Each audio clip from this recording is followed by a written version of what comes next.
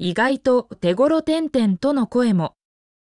軽トラックといえば、宅配便の配送や農業、漁業など、人々の生活に欠かせない道具というイメージが強いですが、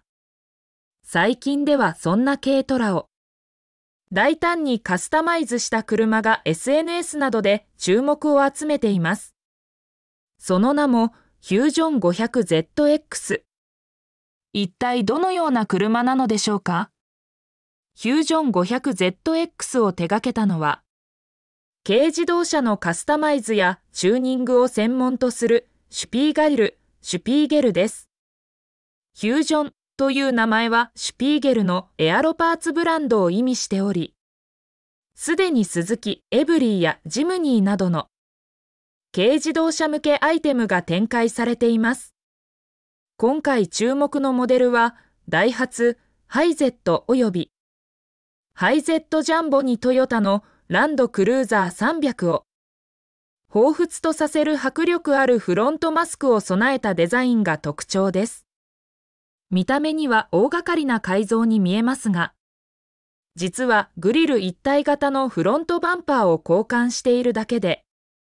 細部は塗り分けで表現しているのだとか。これには驚かされます。さらに、純正バンパーと同じ寸法を維持しているため、軽自動車の規格を超えることなく、日常での使い勝手も十分に確保されています。これも嬉しいポイントです。2024年1月に開催されたカスタムカーイベント東京オートサロン2024でも、フュージョン 500ZX は多くの来場者の注目を集めました。このグリル一体型バンパーの価格は税込み19万8000円です。また、東京オートサロンに出展された車両には、リフトアップやタイヤホイールのカスタマイズが施され、全体のコーディネートが図られており、さらにスタイリッシュに変貌を遂げていました。SNS 上でもこのランクル風景トラに対する反響は大きく、小さいのに迫力がある、あえて軽自動車だからこそかっこいいなど、